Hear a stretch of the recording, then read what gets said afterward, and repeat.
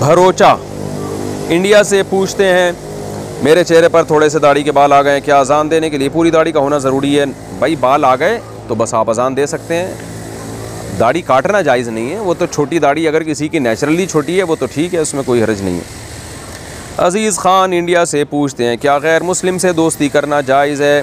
देखिए, गैर मुस्लिम से हुसन सलूक करना तो वाजिब है, जैसे तमाम इंसानों से हुसन सलूक अल्लाह ने हुक्म दिया, लेकिन ऐसी गहरी दोस्तियाँ ये रखना ठीक नहीं है, इससे कुरान ने मना किया है। वजह उसकी है कि जब इंसान ऐसी गहरी दोस्तियाँ लगाता है तो फिर उससे उसके मज़हब के असरात इंसान में आते हैं। तो दोस्तियाँ तो कुरान कहते हैं नेक लोगों से, बल्कि मुसलमानों में भी जो फासिक फाजिर है, उनसे भी गहरी दोस्ती जायज़ नहीं है।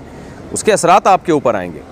एक होता है दोस्ती का ताल्लुक़, वो तो सबसे ठीक है। जब आप का कोई क्लास फ़ेलो है, आपके साथ कोई बिज़नेस में है, वो ताल्लुक़ तो है, उस पर तो हुसन सलूक का अल्लाह ने हुक्म दिया है। कुरान में जगह जगह है, जो भी तुम्हारा मुतलकिन है, तुम्हारे मुतलकिन में से वो किसी भी किस्म का रिश्ता हो, उनके साथ अच्छा सलूक करो। जैसे कि पाँचवें पारे में दूसरी आयत है।